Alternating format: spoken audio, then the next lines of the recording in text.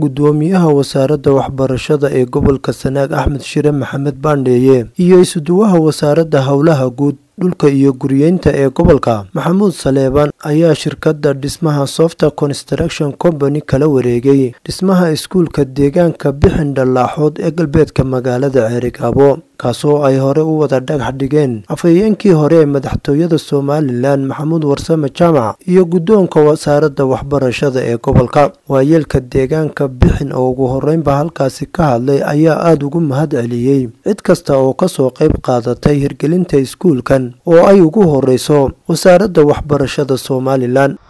Mar labaad waxaan u mahadnaqayaa madaxweynaha jamhuuriyadda somalilan muuse biixi cabdi iyagoo haddii alle xukunkeeda leeyahay dhammaan ciddii ka soo shaqaysay iskuulkan bixin dhallaaxood ee maanta halka kan ka muuqda. Waxaan kaloo mahadnaqayaa cid kasta oo ka soo shaqaysay iskuulka kan hirgelintiisii iyo haddii alle xukunkeeda leeyahay waxqabadkiisii oo uu ka koow yahay afhayeenka jamhuuriyadda somalilan maxamuud warsame jaamac. Oo runtii waxaanu kaloo u mahadnaqaynaa haddii alle xukunkeeda leeyahay shirkaddii hawshatan iyaduna ka qayb qaadatay ee hirgelisay. Waa mahadsan yihiin inta naga soo qayb gashay. Wax mudan horta mahad ilaah baale.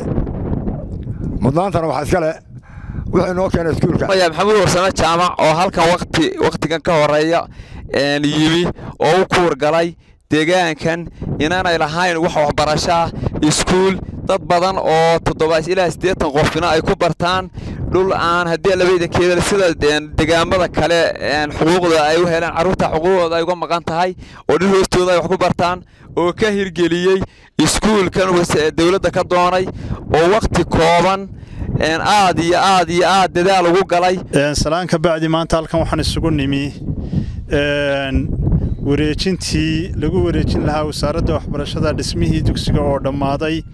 Dhismahaas oo sida aynu ka warqabno ay ka soo shaqaysay wasaaradda waxbarashada gobolka sanaag iyo taguud oo aynu ognahay wakhtigii halkan la dhagax dhigayey ee aan iskuulkan quruxda badan ka dhisnayn ee laga codsanayey wasaaradda waxbarashada in iskuul laynoo dhiso taasoo uu ceelalyo u ahaa xildhibaan maxamuud warsame jaam hoygaana waxaa u sababa madaxweynaha jamhuuriyadda somalilan gaar ahaan waxaa ka soo shaqeeyey iskuulka kan oo xukuumadda la galagalaystay afhayeenka markuu ahaa maxamuud warsame jaamac isagana aad baannu ugaga mahad celinaynaa. Wasiirka waxbarashada master toorno gudoomiyaha waxbarashada gobolka sanaag axmed shire maxamed isuduwaha wasaaradda howlaha guud maxamuud saleebaan xuseen oo dhammaantood ka soo qayb galay la wareegidda iskuulkan bixin dhallaax in badan baanu ku dadaalaynay oo uu ku dadaalaya afhayeenku iyo dad ka sii horreeyaba.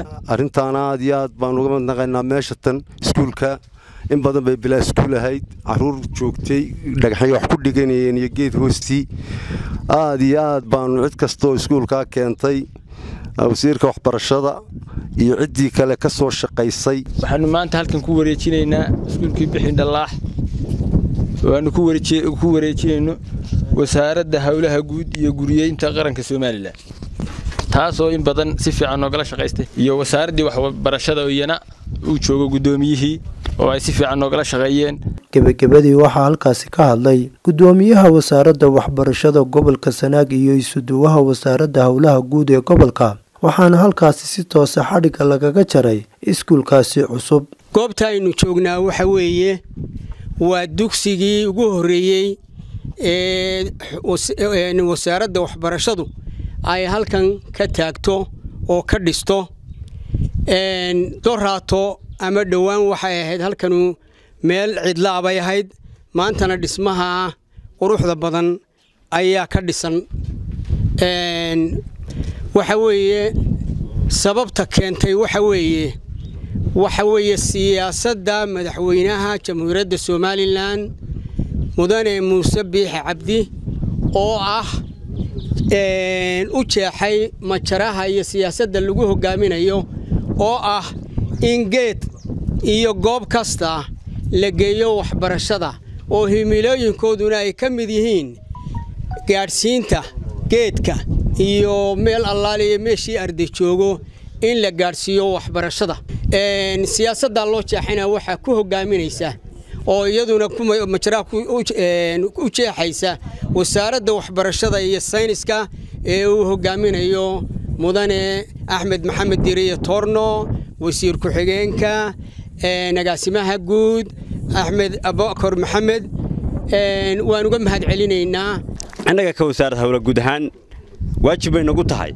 Dhulka dawladdu leedahay loo dhisayo inaannu korjoogtaynteeda iyo ilaalinteedaba aanu xidhis ka saarro muddadaa koobnayd ee halkaa iskuulkaa socday waxaannu qoobay qaadoba aanu joognay iskuulkaa iyo dhismihiisa iyo xaaladihiisa runtii iskuulkaa quruxda badan aad aragtaan baa la dhisay. Waan uga mahad celinaynaa shirkaddii dhisaysay dhismaha maanta guddoomiyahan ku wareejinayno.